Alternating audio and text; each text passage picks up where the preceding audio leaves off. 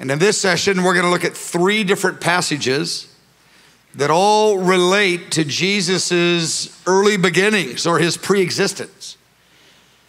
Matthew opens up with Jesus as the son of David. Luke, he gives the genealogy of Jesus as the son of man. But John, he goes far beyond that. He goes right to the Godhead it says Jesus has more than a human genealogy. He is the uncreated God. He's pre-existent.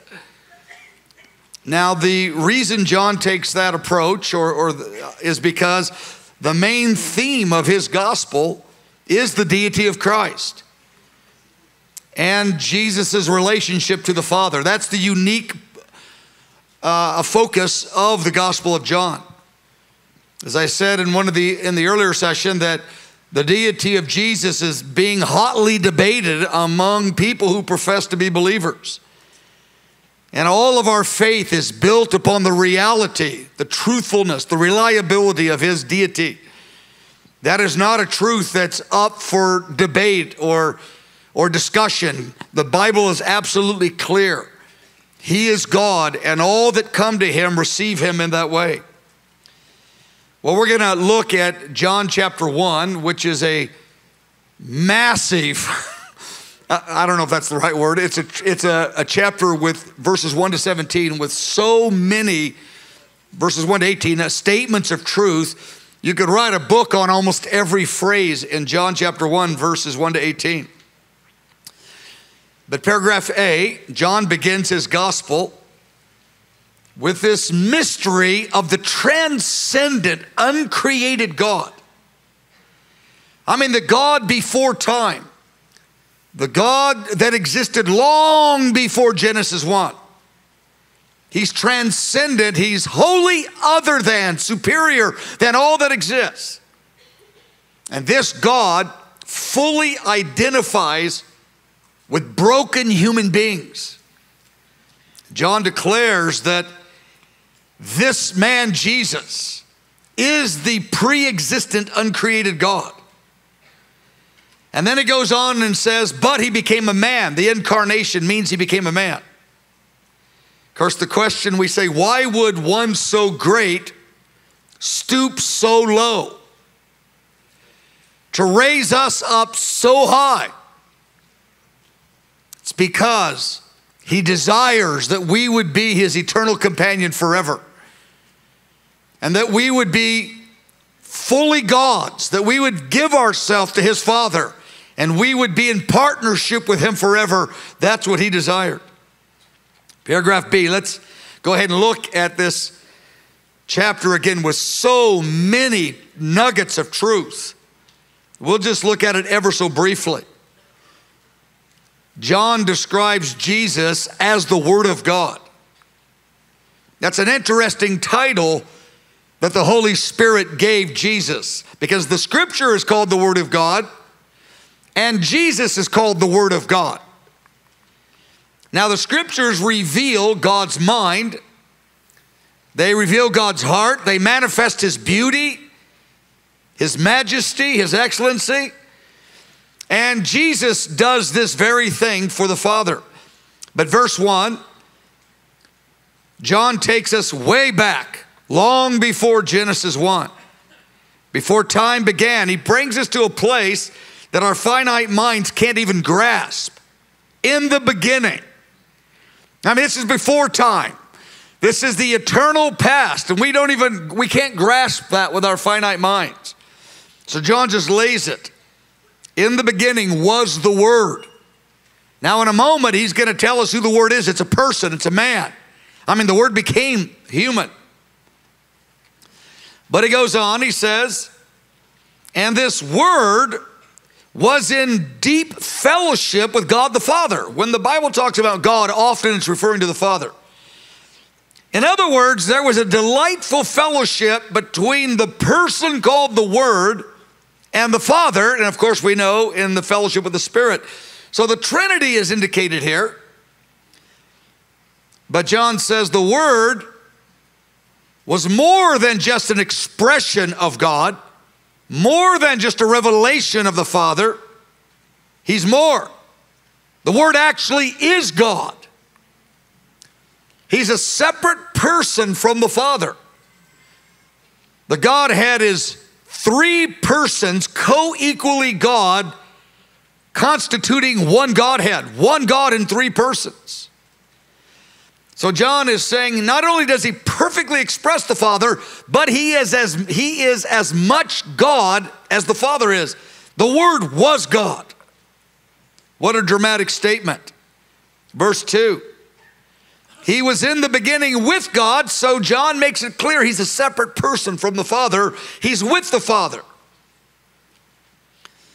Verse 3, he goes on to magnify Jesus' power and majesty. Everything was made through him. Now, instead of calling him the Word, John uses the pronoun him. It's a person. And he goes on to say there's no exception. There's nothing that came into existence that did not come through his creative power. I mean, what a statement of the majesty of Jesus in that one statement right there, verse 3. So, what John is doing right from the beginning, this is kind of not really his genealogy, but his introduction to Jesus, just like Matthew gives a genealogy with Jesus as the son of David, and Luke gives a genealogy of Jesus as the son of man. John is putting Jesus in relationship to time. He's from the beginning in relationship to God the Father. He's with God, he's equal to God. He puts him in relationship to creation. He's the creator of everything. Puts him in relationship to redemption, to the human race, and he goes on and develops that throughout John chapter 1. Let's look at number one under B. This idea that Jesus is called the Word of God. In Revelation 19, that's the name that's written on him. That's, that's kind of an abstract thought that he is the Word of God. Well, the Word of God, God the Father, has many deep desires and many thoughts that have not been expressed, that aren't seen by anyone in the natural realm. They're hidden, they're hidden in God's heart. They're unexpressed desires and thoughts.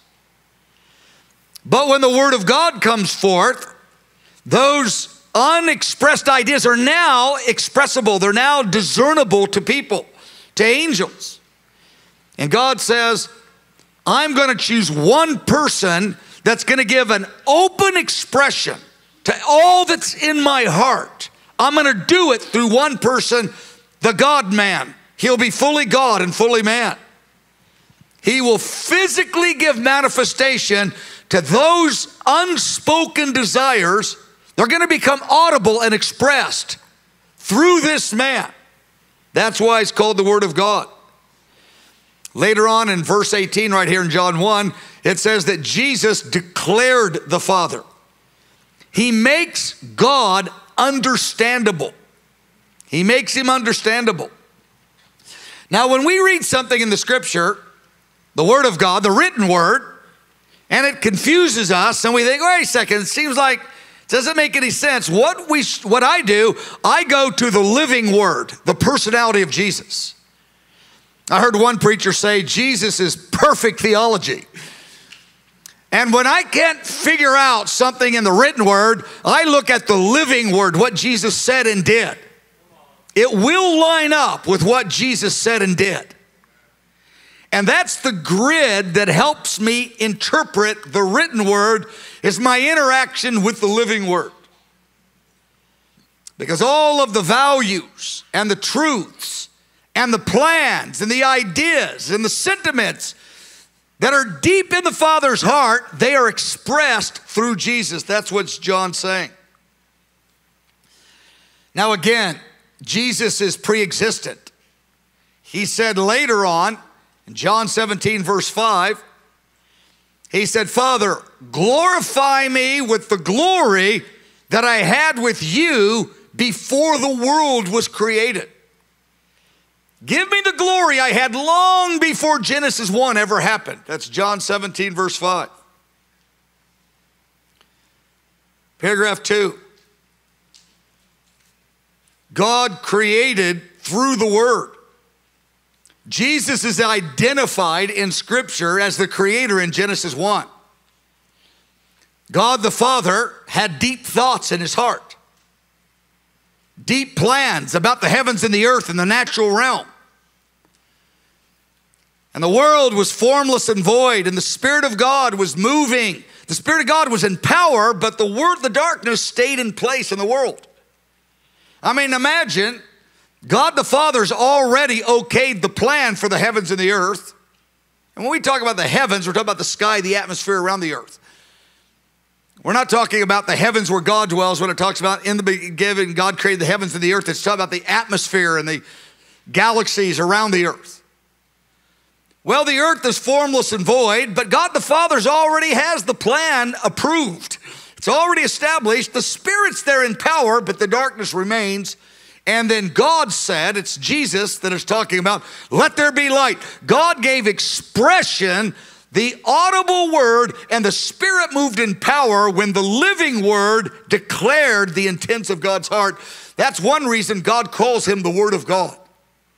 It's through his words that the Father's plans and desires are made known and they come to pass and the Spirit releases them, but not until Jesus declares them. See, and that's the glory of intercession. Jesus joins us to himself as his bride.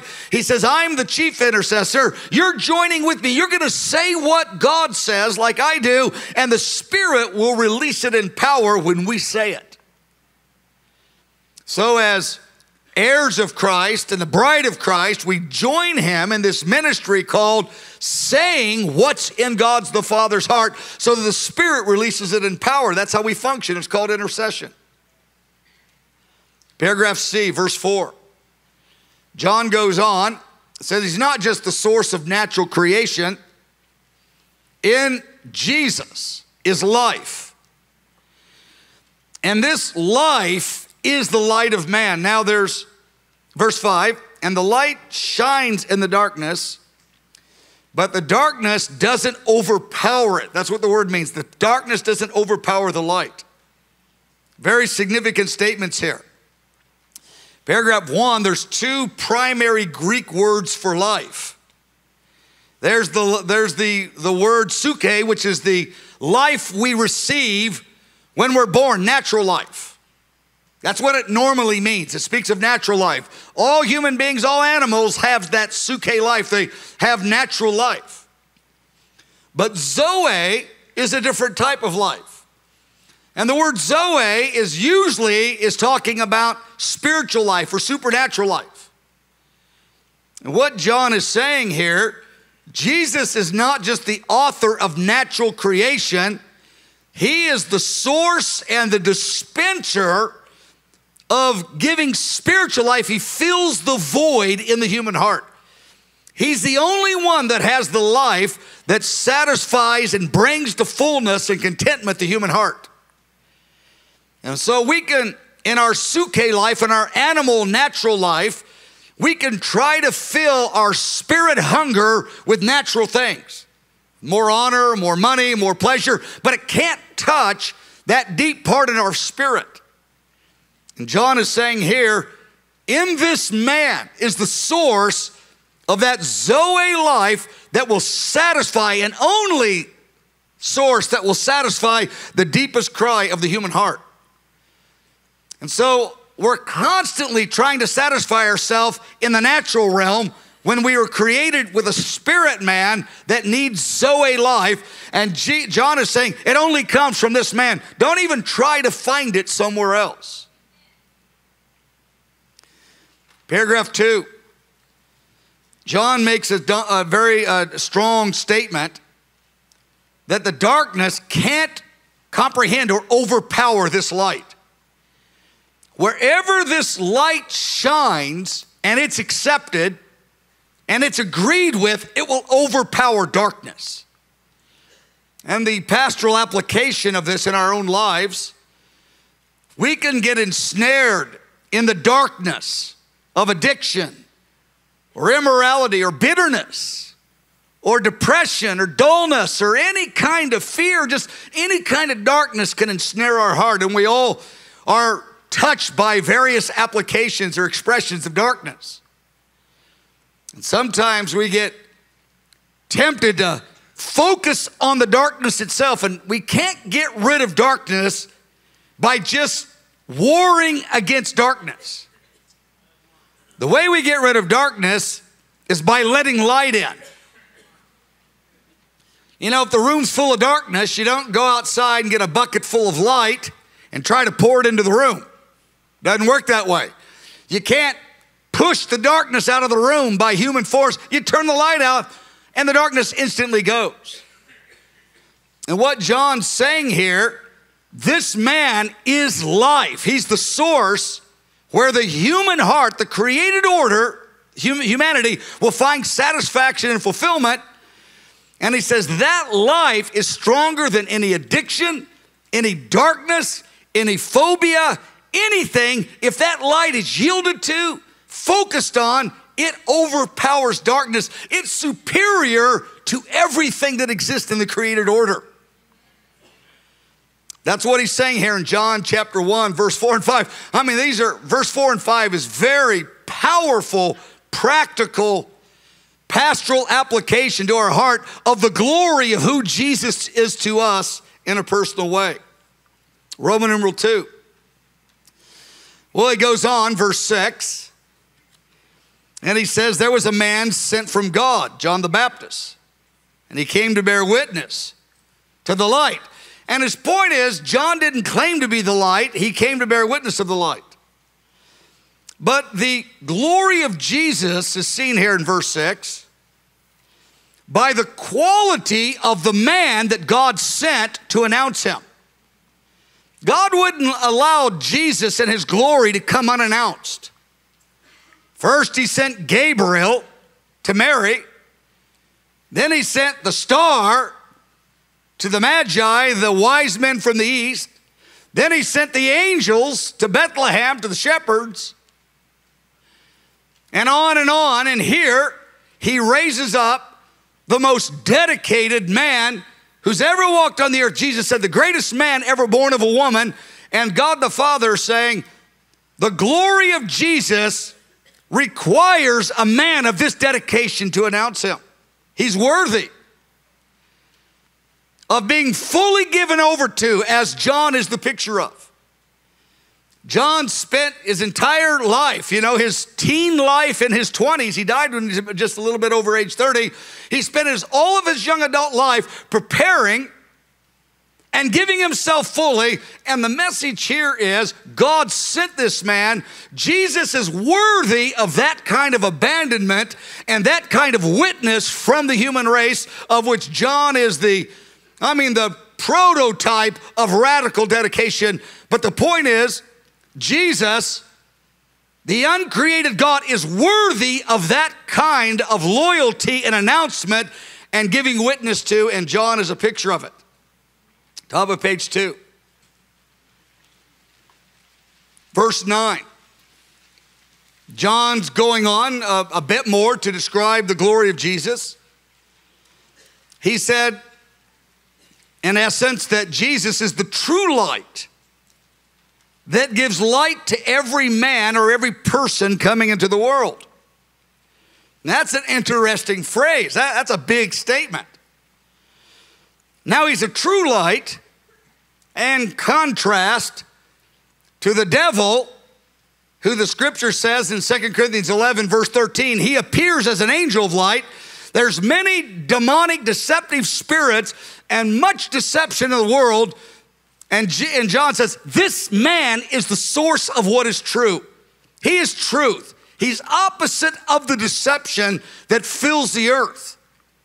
It's promoted by men and by demons. But he's the true light in another way.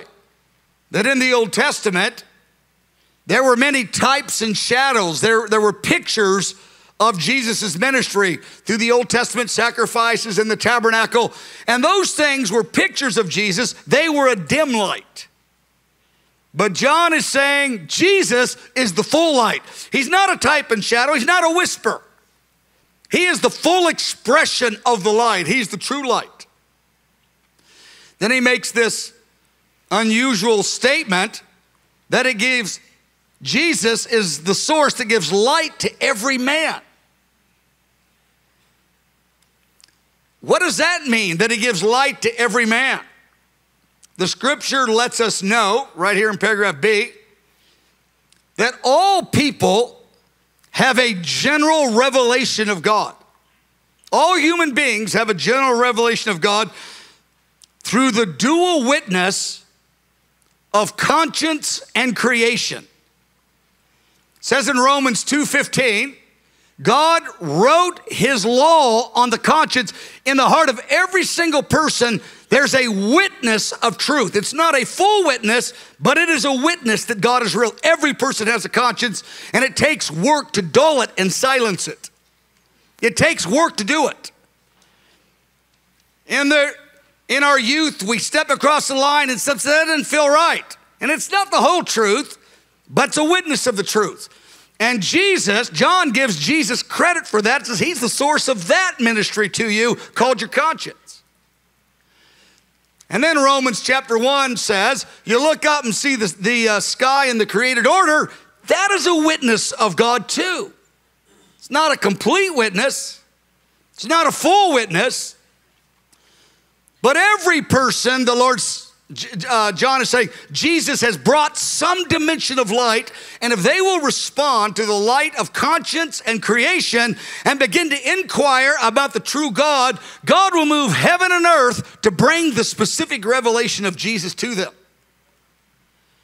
But what John is saying here is that Jesus is even the source of moving on people through creation and conscience even before they know Him in salvation in a personal way. Verse 10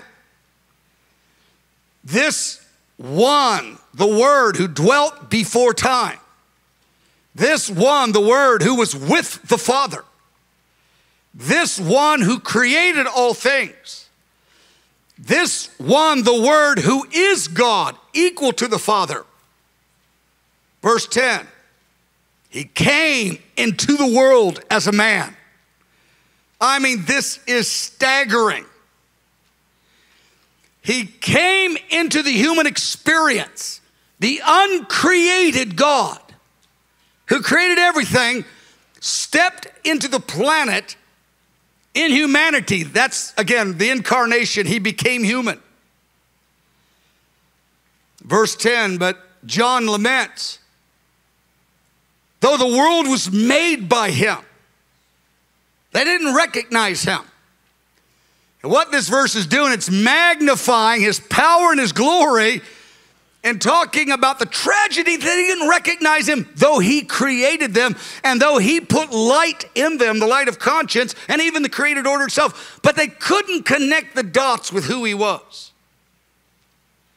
Then it became more specific than just the nations did not figure out who he was. Verse 11, he came into his own, the Jewish people as the fulfillment of the Old Testament prophets, as the fulfillment of the Old Testament types and shadows. And Israel did not receive him. So the world is charged with ignorance when he came. They didn't get who he was. The Romans didn't get him. But Israel's charged with rebellion. He came right to them as the fulfillment of the types and shadows of the Old Testament sacrifices and all the messianic prophecies, and they rejected him. Paragraph C, verse 12. But as many as receive him, he gave them the right to become children of God. To those who believe in his name, who were born not of blood, nor of the will of the flesh, nor of the will of man, but born of God. Well, what's happening here is that verse 12 gives us the human side of salvation, what God requires. And verse 13 gives us the divine side of salvation, what God provides. So in verse 12, as many as, no matter how sinful. Doesn't matter if they're Gentiles, because the Jews thought that only the Jews could be saved. John said something radical. As many as, the most sinful, rebellious, evil, broken, rebellious Gentile who hates God and Israel and everything, if they repent, as many as, He'll give them not just free forgiveness so they escape hell, more than that, He will give them the right, and the other translations use the word the power. It's more than just a small privilege, it's the power to be accepted into the family of God and to fellowship with the Trinity, God, Father, and Holy Spirit, in a way that's far beyond what the angels will ever experience. This is a radical statement. As many as, no matter how sinful, Jew, Gentile, doesn't matter what condition, if they will believe, they receive the power of God to be received and established in the family of God with the very seed of God, the Holy Spirit, dwelling in them forever. Radical transformation. Forever, billions and billions of years, resurrected body, ruling and reigning forever. They're in the family. They're in fellowship with the Father, Son, and Holy Spirit forever. But the human side is they have to believe. Now, some ministries have taken this idea of belief, they've reduced it to what preachers have called easy believism, which means intellectual assent. You know, they get somebody to, to repeat a prayer and intellectually assent. Do you believe Jesus was God? Sure. You want him to be your Lord? Yeah, I guess. If you want me to want him, yeah, sure. Yeah, that's right. That's good. You're saved. And believing is far more than intellectual assent. Biblical New Testament believing is this giving of ourselves to Him and His leadership in fullness. Now, we don't do it well, but we do it with all of our heart. Believing means embracing his leadership, believing he's God, believing he's king, believing he's Savior, so much so we give ourselves fully to him. We don't earn anything, but in the response of believing is a full giving of ourselves based on our gratitude for who he is. So some people have taken believing and they've teased it apart from a heart commitment. They say, well, if you require heart commitment, then you're earning salvation. But to believe he's the king and the creator, to believe he's the, the, the, the, John 1 God, is to give ourselves fully to him. Those are inseparable ideas. That's the human side. Verse 13 is the divine side, what God provides. He said, These people that are brought into the family, I mean, we're talking about brought into God's family forever. Everybody wants to be in a royal family. I mean, that's an amazing privilege to be in a royal family that's divine, that lives forever.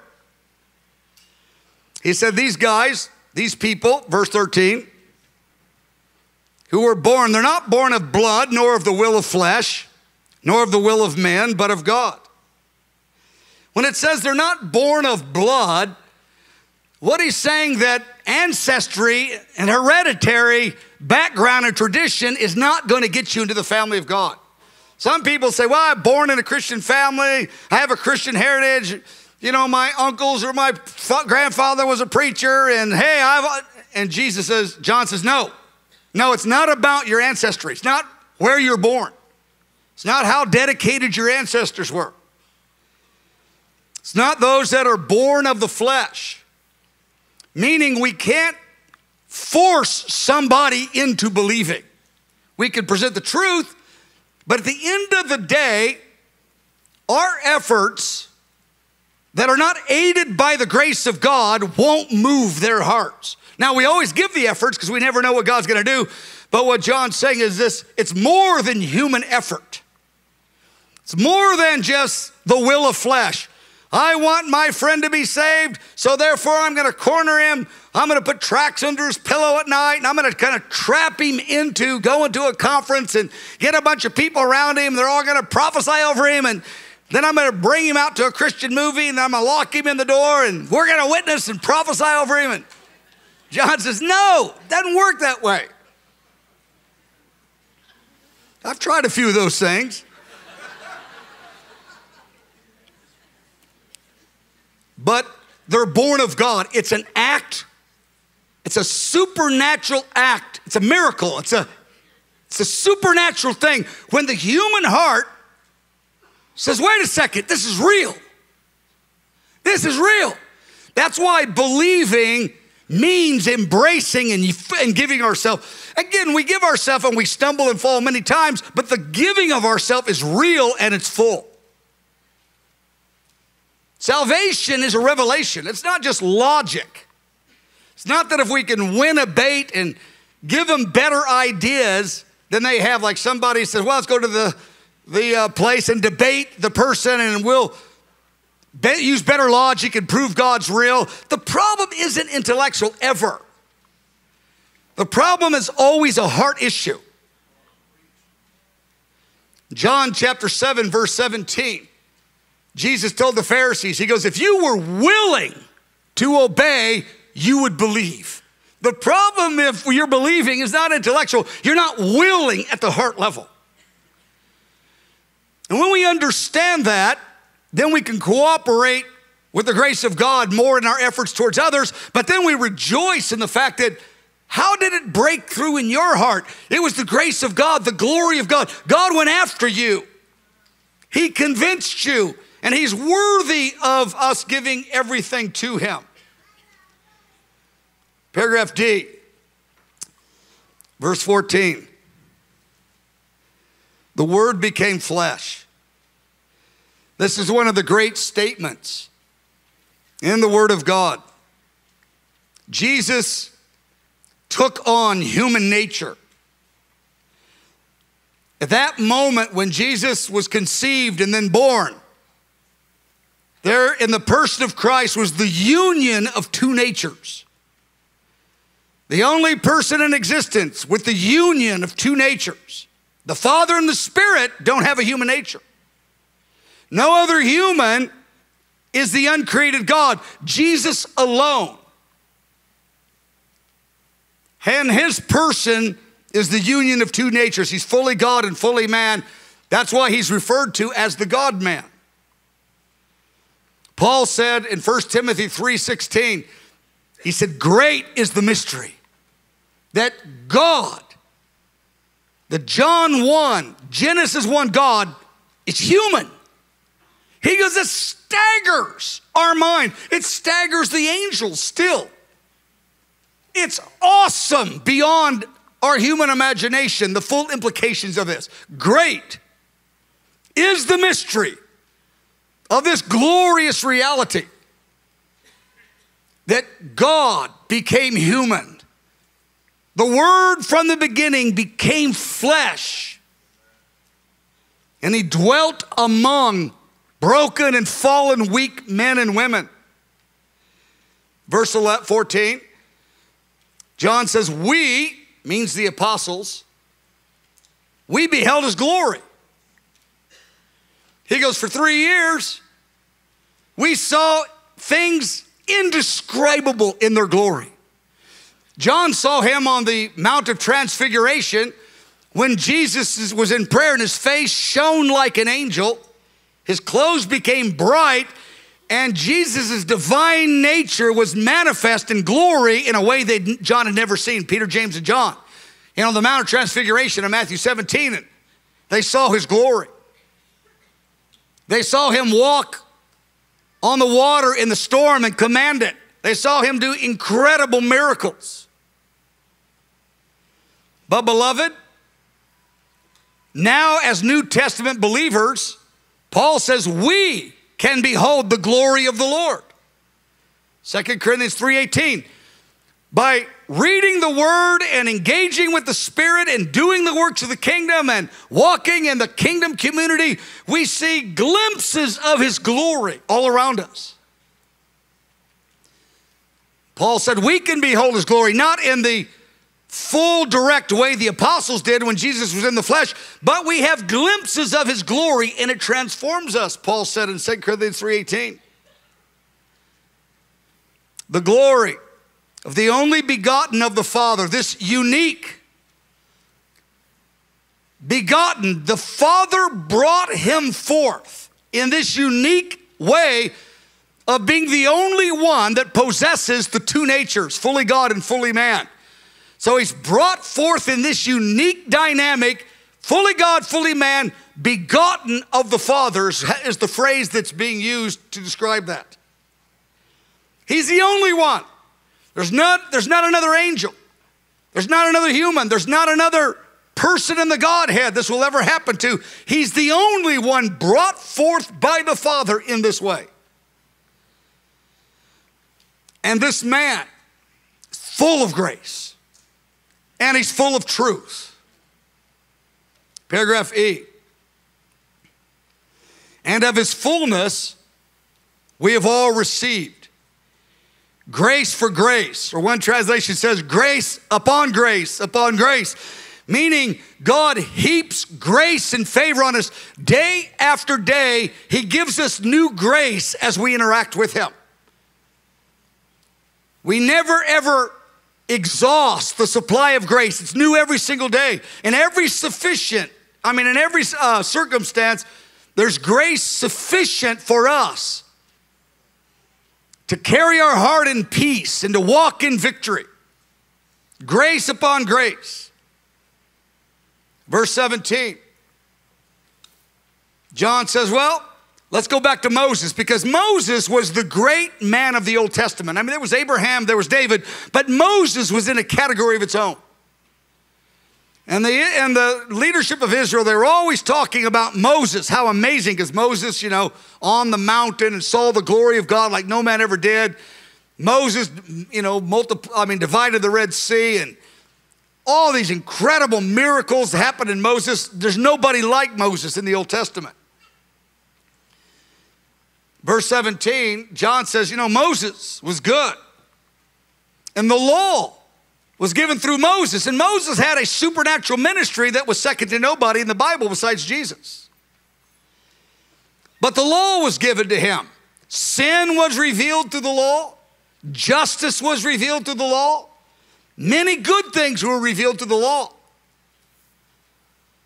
But he said, grace and truth came through Jesus.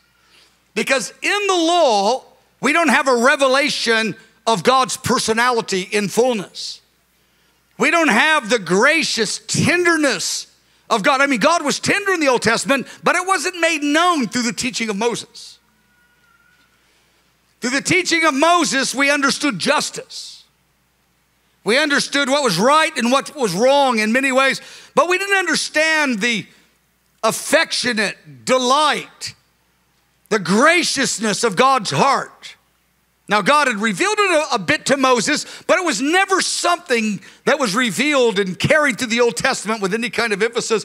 But Jesus came and he brought the truth of God's grace that was always true, but he brought it to light. But notice, he brought grace and truth. Now, some people really like grace, but they can't tolerate truth. They want the gracious tenderness of God and His delightful way and His open heartedness, but they don't want God's words, they don't want God's ways.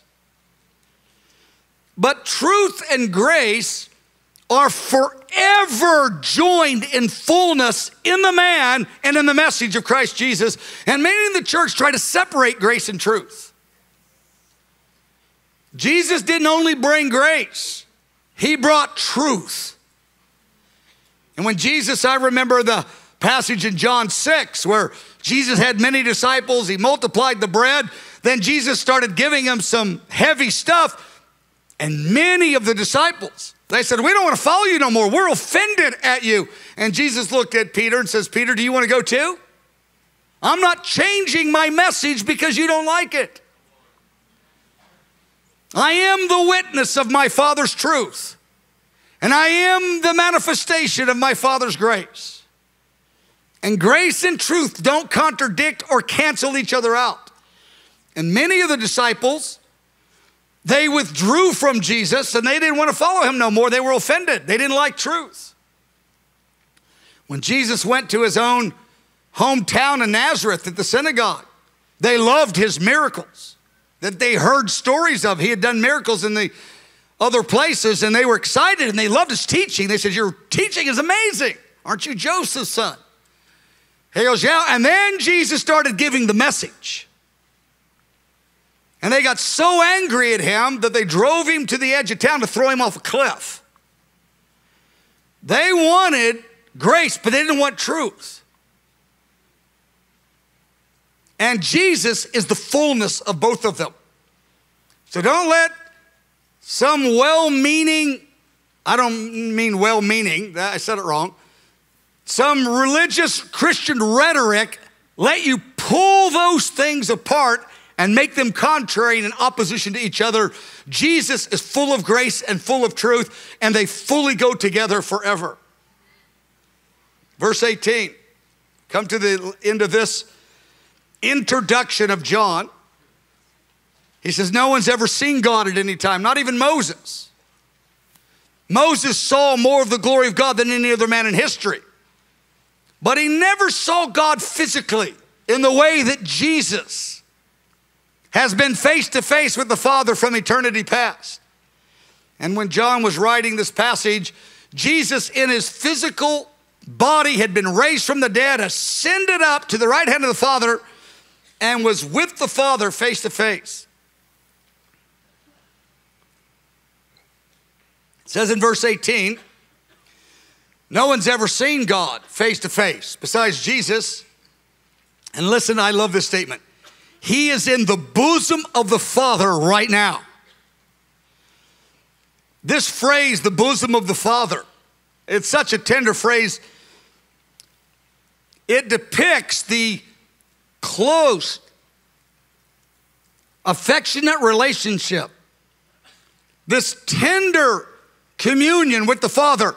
Matter of fact, it was John, John 13, verse 23. He's the one that put his head on Jesus' bosom at the Last Supper. That's how John describes what happened at the Last Supper. He put his head on Jesus' chest. Excuse me. At various meal occasions and, and dinner time, it would happen on occasion that one member of the family would lay their head on the chest of the other. And it, and it uh, in the scripture in Deuteronomy 13, it talks about a man and a, and a wife taking to his bosom. It talks about a child and a father, the father taking the child into his bosom. There's other examples. It's this tender embrace of affection and trust. And one of the most powerful statements here in John, he says, John says, Jesus is in the bosom of the Father. He's not just at the right hand reigning, he's in this affectionate interchange with the Father forever, and he's wooing us to enter into that with him. John says, I did that some with, with Jesus. John 13, verse 23. He goes, But that's where Jesus is with the Father. What he's saying is, This is my description and introduction of the man Christ Jesus. Let's turn to the top of page three.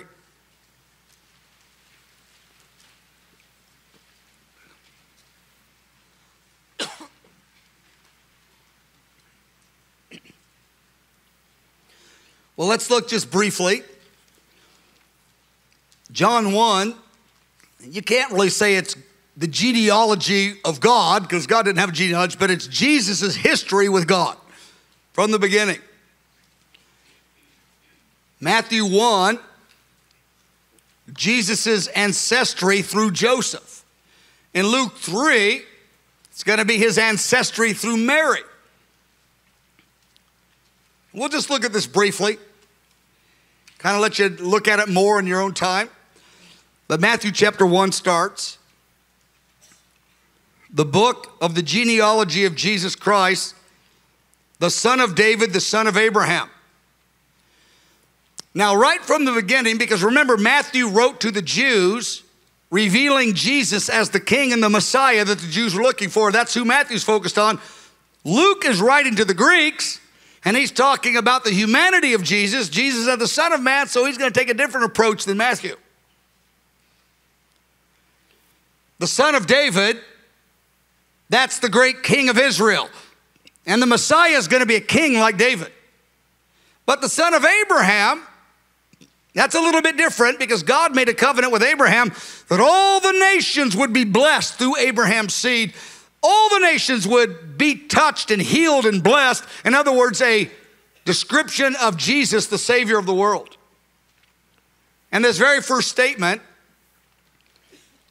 Matthew is tying together two Old Testament covenants the covenant that the nations would be blessed through Abraham and the covenant that God would raise up an eternal king over all the nations through David. Now, the reason this was important, paragraph one, the Messiah had to be traced back to David's royal family line to be accepted as the king of Israel. They were saying, No, prove it to us that he is of the line of David and of the line of Abraham. Now, it's interesting well, more than interesting, significant, that Mary's ancestry goes back to David and Abraham too. So, though they had two different family lines, they both led to David. Joseph came through David's son Solomon, and Mary came her line through David's son Nathan. Two different sons, but both had the father David.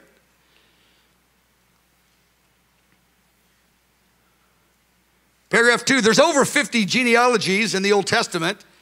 Today, because of all the scattering of the Jews and all the destruction, most Jewish people don't have any historical records. There's attempts to kind of put piece it together, but there isn't strong historical credible evidence of genealogies for the Jews like they used to have. And so somebody would say, who how do we know that the Messiah that's coming is the son of David? Because we can't prove it.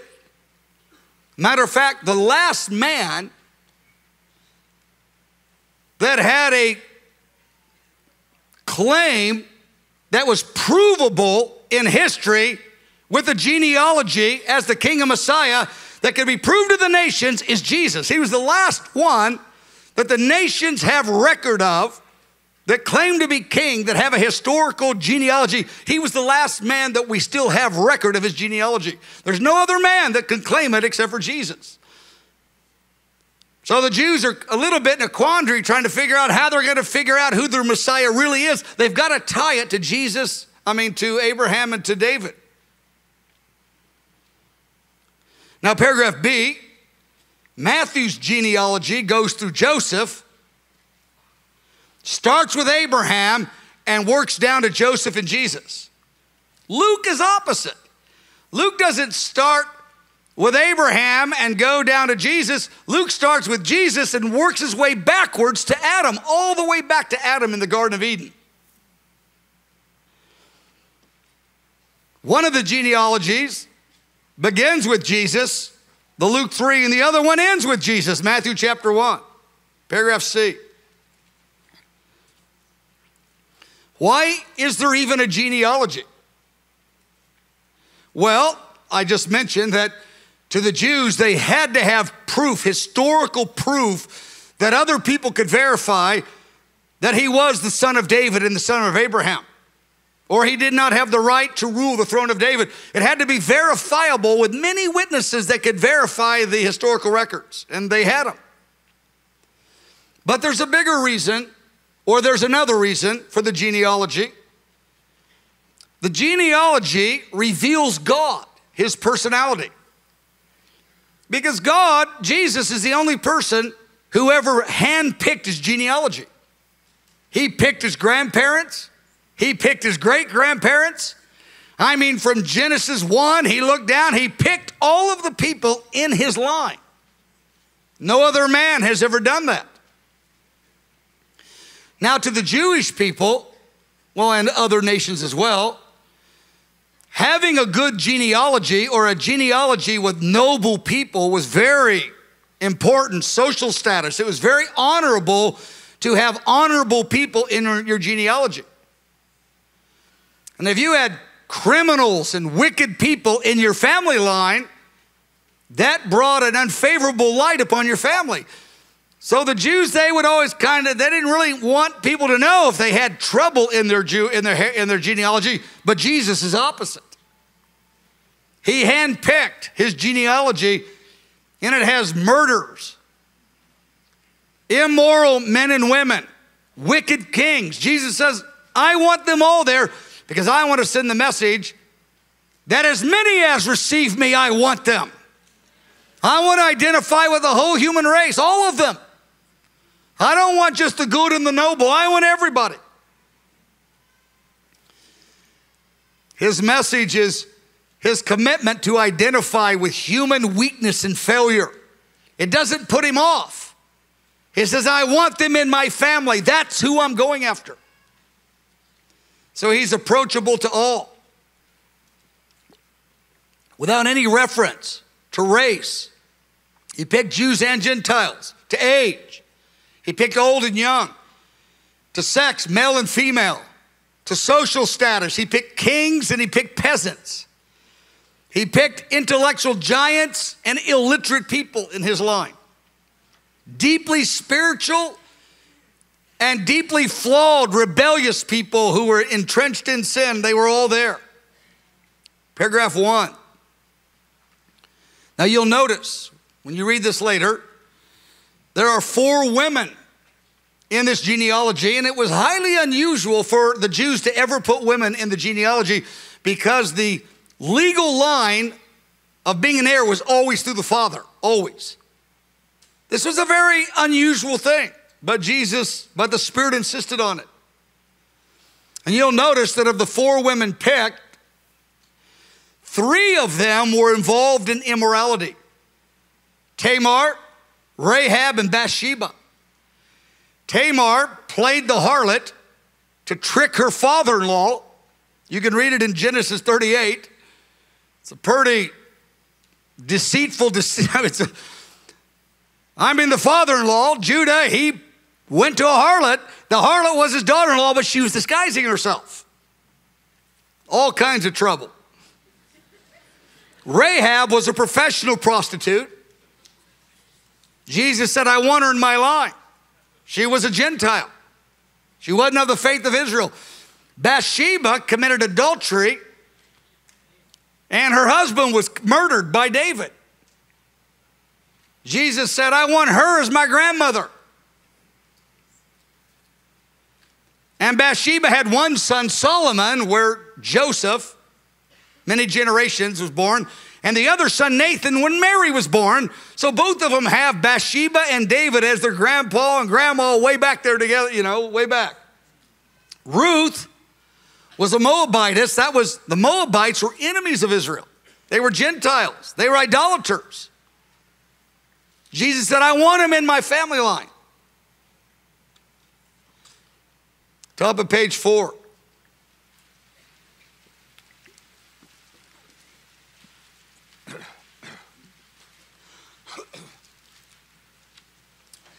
Paragraph E.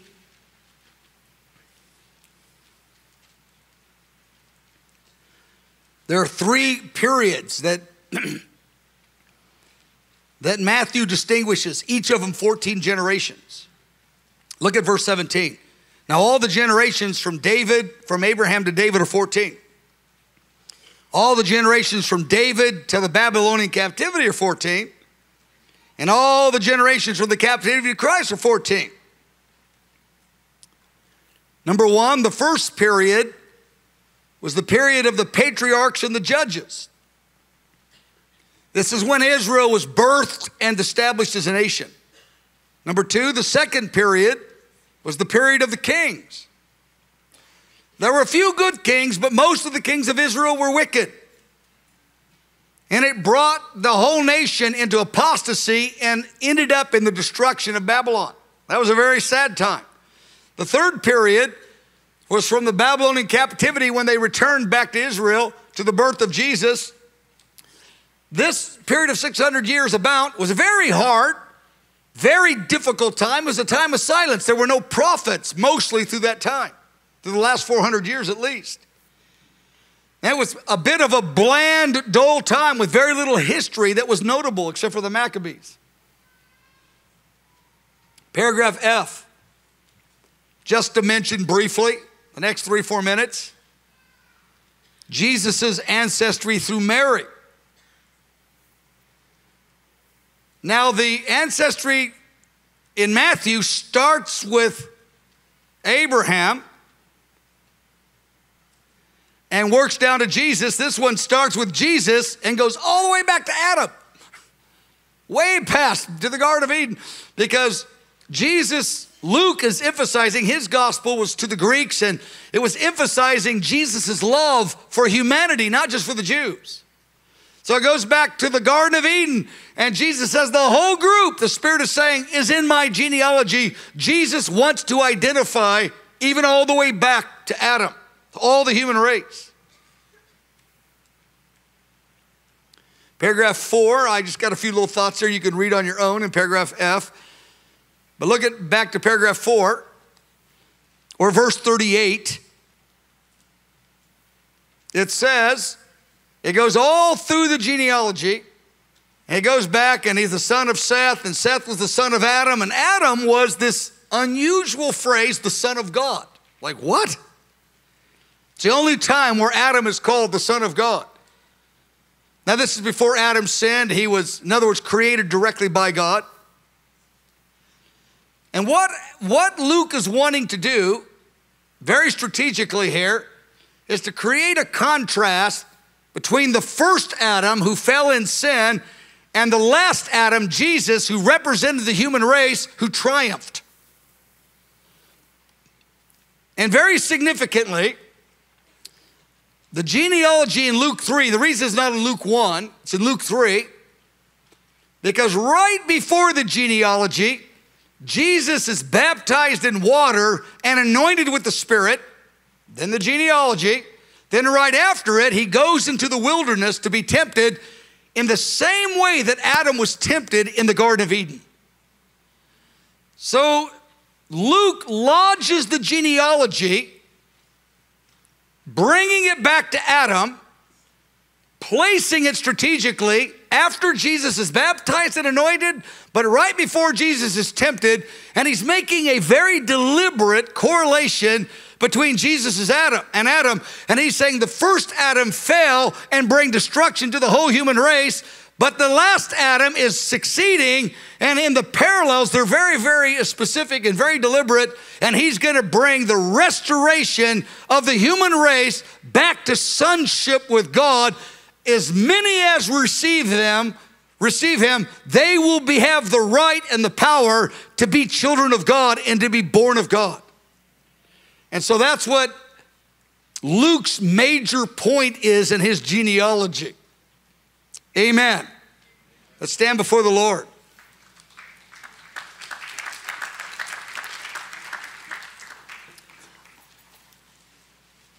I want to encourage you to, worship team, as you're coming up, to go back to the John 1, there, verses 1 to 18. That is like one of the high points of Scripture. Again, every phrase is absolutely loaded. And just we just covered it in about 25 minutes, and that's a really fast to cover a, uh, but I want to identify that passage to you as one of the main ones you really want to go deep on. I want to encourage you to take the notes out and get some other commentaries and tease apart those phrases. Talk to the Lord about them. And thank you. Let's just go before the Lord here. Jesus, that you chose harlots, murderers, sinful men to be in your genealogy because you love us. Oh, you're the glorious, uncreated God, full of grace and full of truth. We thank you that you became man, walked on the earth, endured the rejection in your generation. You didn't draw back, you didn't shrink, you didn't quit. Jesus, we love you. Lord, we want to be yours.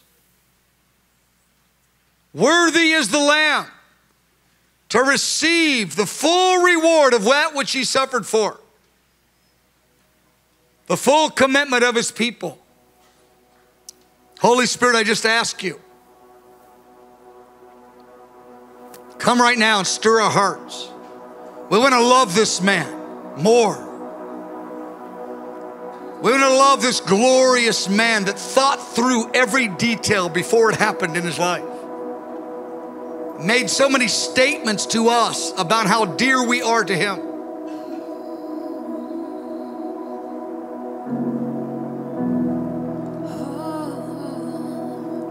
Holy Spirit, I ask you to come and touch us. Oh, beautiful one, you are the beautiful one. Glorious God, we love you.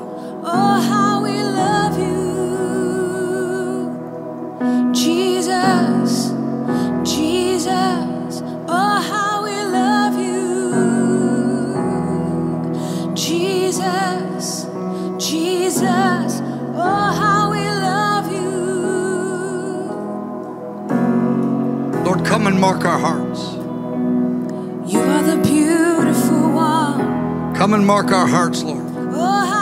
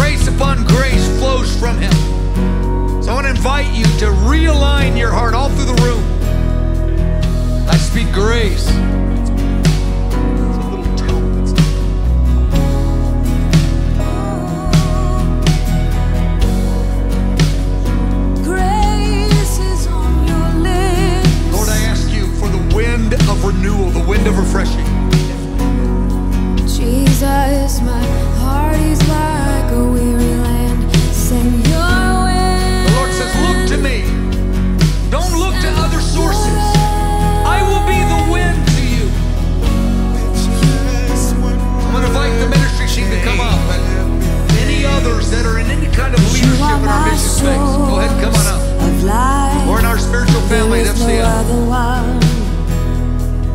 You are my source of life. So I am listening, listening. You are my breath. I believe you are my source. I believe you, Jesus.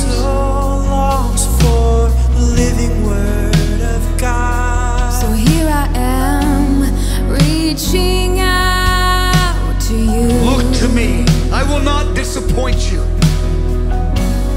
Reaching out.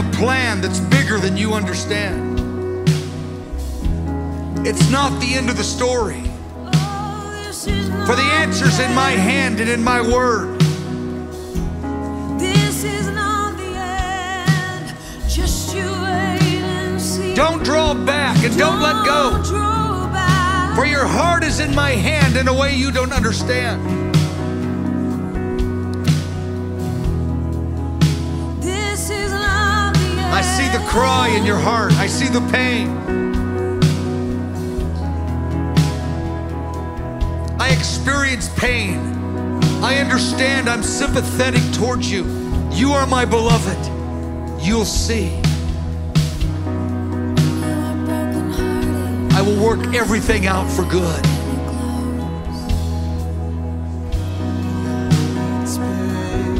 For I will be near to the brokenhearted, says the Lord. I have plans you don't understand.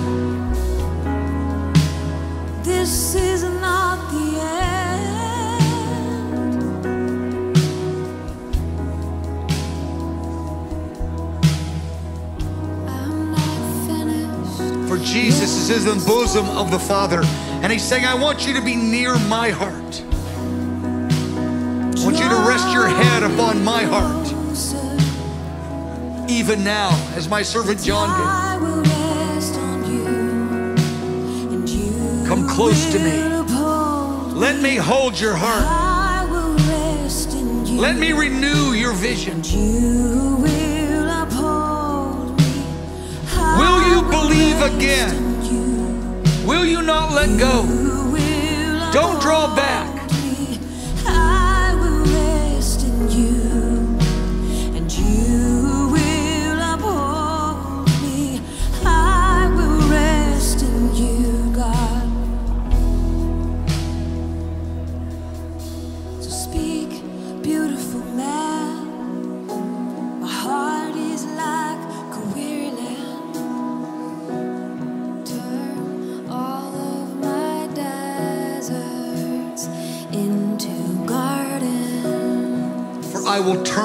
desert into a garden.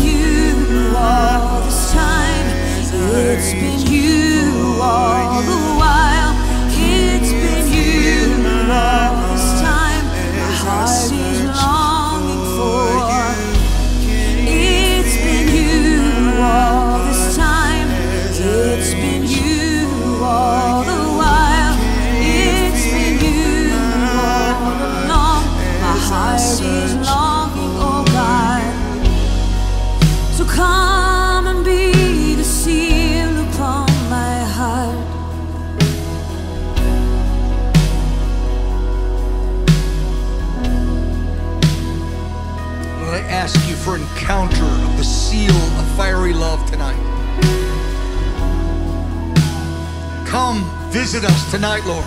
Encounter our hearts. All over this room, Holy Spirit, move, I ask you, in a fresh way, this very moment.